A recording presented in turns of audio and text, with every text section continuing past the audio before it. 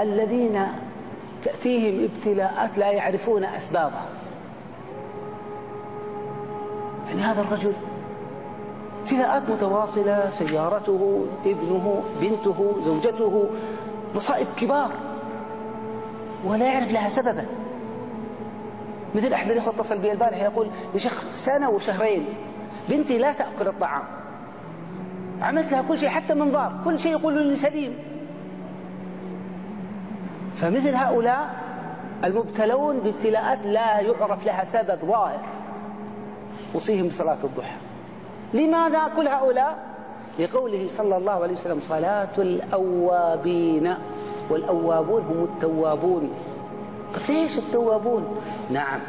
أوصي به من بينهم وبين زوجته عائلات مشاكل لأن الأوابين هم الرجاعين إلى الله. ولا يرفع بلاء إلا بتوبة كما أنه لا ينزل بلاء إلا بذنب. فصلاة الضحى توبة. ولذلك من عنده معصية لا يستطيع أن يتركها نقول له صل الضحى داوم على صلاة الضحى.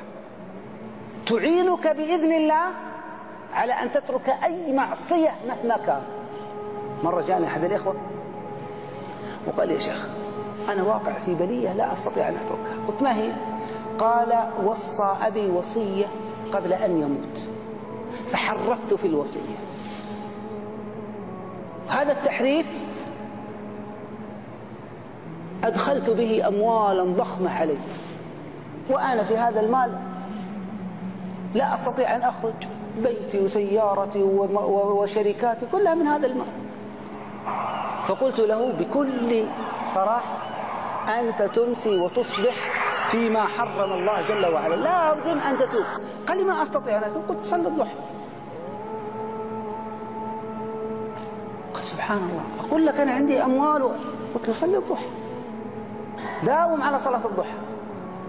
ستكون من الأوابين بنص كلام النبي صلى الله عليه وسلم. عندما قال صلاة الأوابين حين ترمض الفصال